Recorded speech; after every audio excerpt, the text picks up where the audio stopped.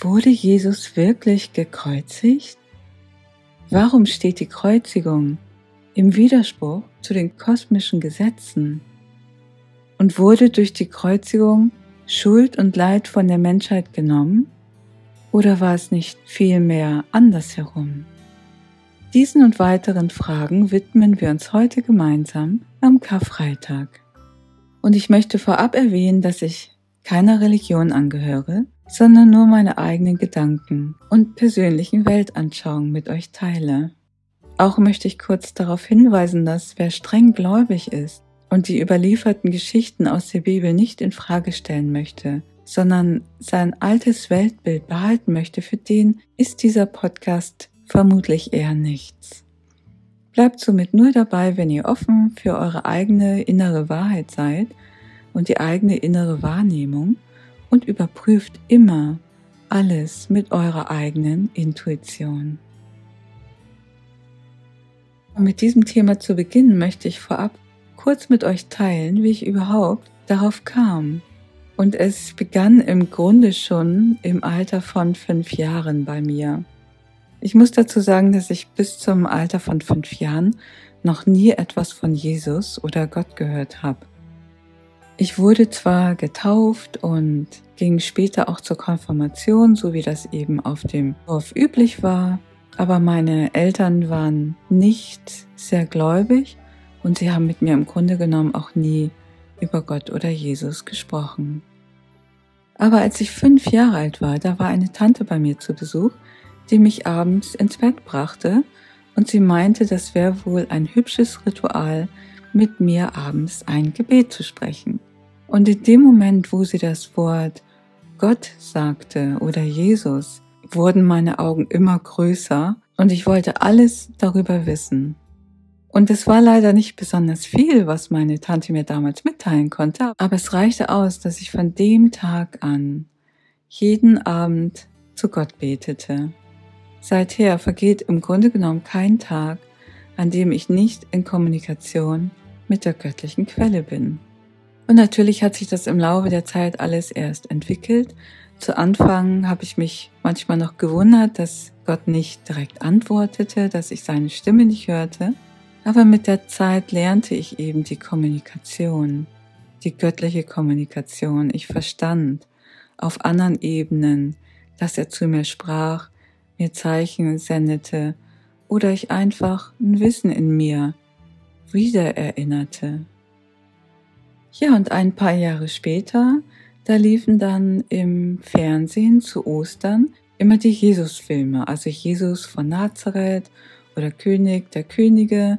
Das waren immer Mehrteiler und ich erinnere mich daran, dass kein Ostern verging, an dem ich nicht diese Jesus-Filme sah. Zum einen faszinierte mich das natürlich absolut, was Jesus mitteilte, wie weise das war und wie liebevoll und sanftmütig er war. Und auf der anderen Seite fand ich allerdings das Ende der Filme immer absolut dramatisch, als Jesus ans Kreuz genagelt wurde. Und auch, dass er anschließend auferstanden ist, hat mich nicht wirklich über die Kreuzigung hinweggetröstet. Und ich kann mich noch dran erinnern, dass ich ein paar Sachen in diesem Film einfach nicht verstand. Zum Beispiel wurde Jesus ja gewarnt am Abend vorher, dass er festgenommen werden soll. Und ich saß vorm Fernseher und habe Jesus immer zugerufen, Lauf weg, Jesus, lauf weg. Und ich habe es einfach nicht verstanden, warum er nicht weggelaufen ist. Der wurde doch gewarnt. Warum ist er nicht weggelaufen, wenn er wusste, dass man ihn ans Kreuz nageln will.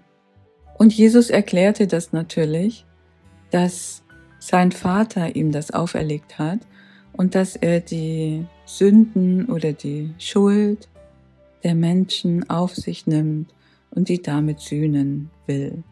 Was ich als Kind natürlich auch überhaupt nicht verstand und als Erwachsener im Grunde genommen auch nicht, denn es steht im absoluten Widerspruch zu den kosmischen Gesetzen. Wer sich mit den kosmischen Gesetzen auseinandersetzt, darüber habe ich auch schon mal eine Folge gemacht, der weiß, dass es da ein kosmisches Gesetz der Ursache und Wirkung gibt, das man auch Karma nennt. Und das ist ein Gesetz, an dem wir uns weiterentwickeln können. Wir selber setzen eine Ursache und genau diese Ursache kommt als Wirkung wieder auf uns zurück. Das heißt, wenn wir etwas Gutes verursachen, dann kommt als Wirkung etwas Gutes zurück. Und dadurch erfahren wir, dass es gut ist. Wenn wir aber was Negatives verursachen, kommt das auch negativ zu uns zurück und das muss auch negativ zu uns zurückkommen, damit wir lernen, dass wir gerade eine negative Ursache gesetzt haben. Und wenn dann jemand kommt wie Jesus und sagt, ach, ich nehme eure ganze Schuld auf meine Schultern, damit ihr davon befreit werdet, lernen wir nichts. Wir lernen nichts aus unserer Ursache, die wir gesetzt haben, weil wir die Wirkung nicht spüren. Und das ist im totalen Widerspruch zu den kosmischen Gesetzen oder zu dem, was hier auf der Erde stattfindet. Denn es geht ja darum, dass wir unser Bewusstsein entwickeln. Und wenn Jesus unsere Schuld übernommen hat, dann hat er uns unsere Bewusstseinsentwicklung genommen. Und das würde Jesus ja niemals machen. Er war ja daran interessiert, dass wir unser Bewusstsein entwickeln. Also steht das im totalen Widerspruch, dass er sagt, er übernimmt die Schuld der Menschen, um die zu befreien. Was in Wirklichkeit passiert ist, dass dann keine Bewusstseinsentwicklung mehr stattfindet, wenn durch diese Geschichte quasi das Karma ausgehebelt werden soll. Das war etwas, was ich überhaupt nicht verstanden habe und auch ja bis heute ganz klar sehe, dass das absolut im Widerspruch steht, dass es gar keinen Sinn macht, so ein Verhalten aus göttlicher Sicht oder aus Sicht von Jesus.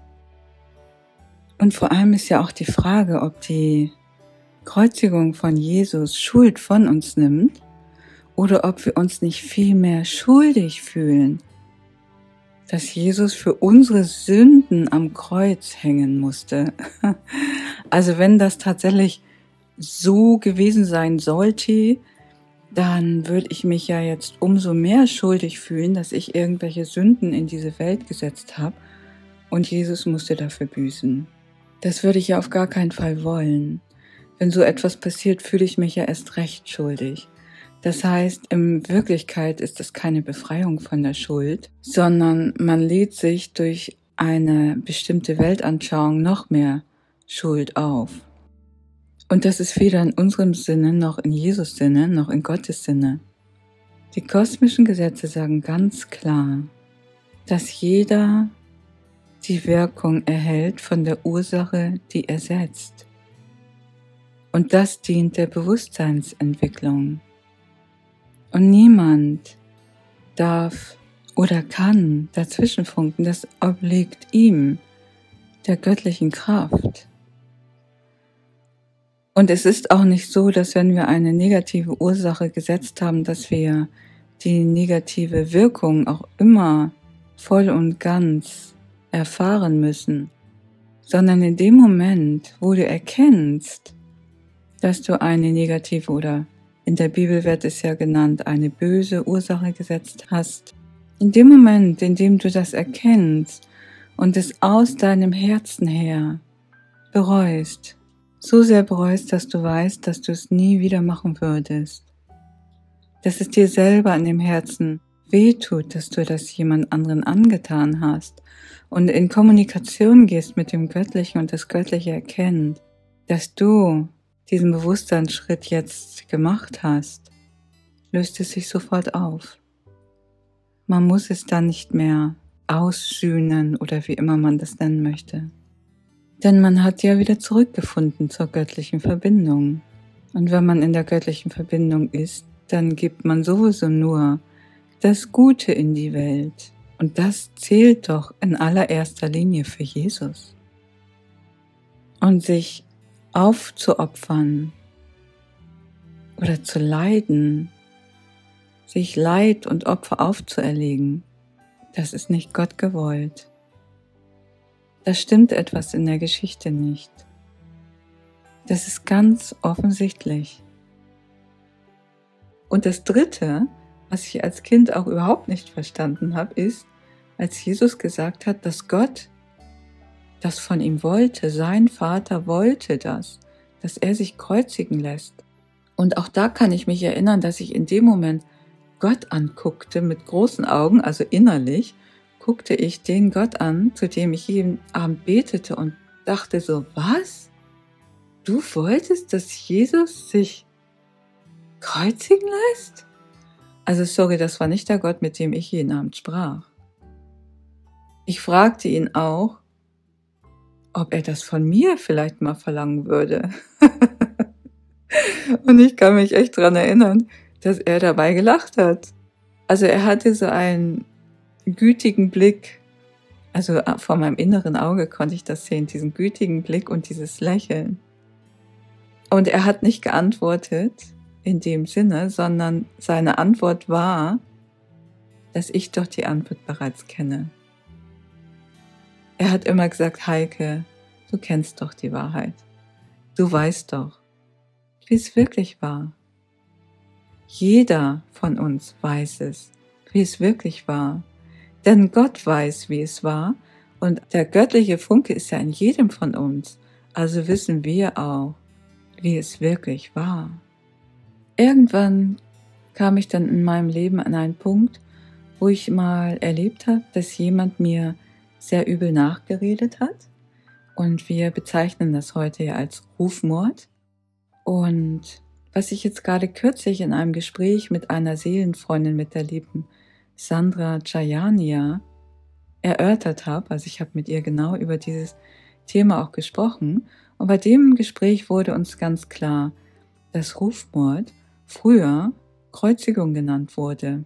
Also wenn jemand so übel nachgeredet wurde, dann hat man gesagt, der wurde gekreuzigt. Und das ist es, was Jesus garantiert passiert ist, natürlich. Ihm wurde übel nachgeredet und man hat es genannt, nicht Rufmord, sondern Kreuzigung. Und ich kann mir vorstellen, also ich will jetzt gar nicht den Geschichtsschreibern da irgendwas Negatives nachsagen, obwohl das natürlich sehr gut möglich sein kann. Aber es kann genauso gut auch einfach ein Übersetzungsfehler sein, dass jemand das Wort wörtlich genommen hat. Und was ich eben erfahren habe, als ich diese Art Rufmord erlebt habe, da kam mir das vor wie eine Kreuzigung. Also ich hatte wirklich das Gefühl, oh mein Gott, mein ganzes altes Leben wird gerade gekreuzigt. Ja, und das, was ich dann erfahren durfte, als mir übel nachgeredet wurde, war sehr interessant. Ich wurde ganz wie von allein aus diesem Feld herausgenommen, entrückt. Das Wort entrückt kam mir immer in den Sinn. Einfach dadurch, dass ich dem gefolgt bin, was ich seit vielen Jahren mache, meine Intuition, also ich sage immer, das ist die Stimme von Gott, die hatte mich an einen ganz anderen Ort gerufen. Und automatisch wurde ich dann aus diesem Feld des Rufmordes oder auch der Kreuzigung entrückt. Und ich ließ irgendwie so eine alte Persönlichkeit von mir zurück wie mein Ego, das dann starb, das dann gekreuzigt wurde. Ja, oder es starb nicht, das Ego kann ja in gewisser Weise nicht sterben, aber irgendetwas Altes geht, mit dem man sich einfach nicht mehr identifiziert.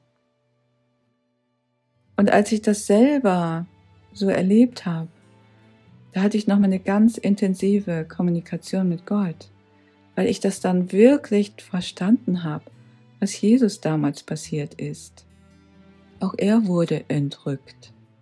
Das, was als Auferstehung bezeichnet wurde, war im Grunde genommen ein Entrücken. Er hatte seine Aufgabe in dem Feld erledigt. Er hatte die Menschen erreicht, die er erreichen wollte. Und die anderen Menschen, die noch da waren, die er nicht erreichen konnte, die werden immer als verlorene Kinder bezeichnet. Die soll man loslassen. Und das ist es, was er getan hat. Er hat sie losgelassen, er wurde entrückt in eine andere Region dieser Erde und hat dort weitergewirkt. Und mittlerweile habe ich viele Bücher gefunden, zum Beispiel auch von Channel-Medien, die über Jesus wirken sprechen, und zwar nach dieser Geschichte. Ich verlinke dir das gerne mal in der Videobeschreibung. Das ist zum Beispiel ein Buch Anna die Großmutter von Jesus. Ich weiß jetzt nicht genau, ob es das Buch auch auf Deutsch gibt. Oder was ich natürlich an allererster Stelle auch hier erwähnen möchte, sind die Isena-Schriften. Die habe ich ja schon öfter mal genannt und sie wurden im Grunde genommen erst vor 100 Jahren entdeckt und vor einigen Jahrzehnten ins Deutsche übersetzt. Und sie waren versteckt, viele Jahrtausende in den Geheimbibliotheken des Vatikans. Und die Essener Schriften handeln eben auch von Jesus Lehre, auch von Jesus. Und da kommt gar keine Kreuzigung vor. Es gibt da keine Kreuzigung in diesen Schriften. Und dann gibt es eine Frau, Johanne Johann heißt sie, die hat die Essener Schriften und die Bibel miteinander verglichen. Ich glaube, das hat zwei, drei Jahre gedauert, bis sie das alles durchgearbeitet hatte. Und da hat sie im Grunde genommen eins zu eins wiedergegeben in einem neuen Buch, das ungefähr einige hundert Seiten hat, hat sie ganz genau wiedergegeben, dass die Bibel im Grunde genommen abgeschrieben wurde von den Essener Schriften, weil das überall an den gleichen Stellen passierte, aber eben nur in einer anderen Form in der Bibel anders beschrieben wurde. Das Buch verlinke ich dir auch gerne nochmal in der Videobeschreibung. Ja, und so finde ich das persönlich sehr interessant und auch sehr befreiend, mit einem ganz anderen Blickwinkel auf diesen Karfreitag zu schauen. Und an dieser Stelle möchte ich auch nochmal erwähnen, dass der Karfreitag hier in Neuseeland Good Friday genannt wurde.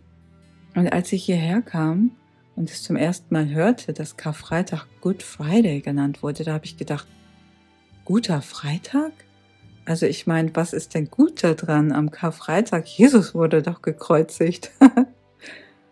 Aber jetzt, aus dieser Perspektive, verstehe ich das natürlich ganz anders. Der Karfreitag ist in Wirklichkeit ein guter Freitag und gut, das Wort gut ist so ähnlich wie das Wort Gott. Und im Englischen ist es Genauso das Wort Gott ist so ähnlich wie gut. Das heißt, es ist ein Freitag, an dem wir Gott sehr nahe sein können. Und an dem wir auch Gott fragen können, jeder einzelne von uns. Wie war die Geschichte von Jesus wirklich? Was ist daran? An dieser Geschichte, die uns überliefert wurde, was stimmt mit der Geschichte nicht und welche Geschichte ist tatsächlich passiert. Und wenn wir uns dem öffnen und auch unser Herz dafür öffnen, dann können wir diesen Tag in einen wundervollen, göttlichen, freien Tag verwandeln, in einen Gott Freitag. Alles Liebe.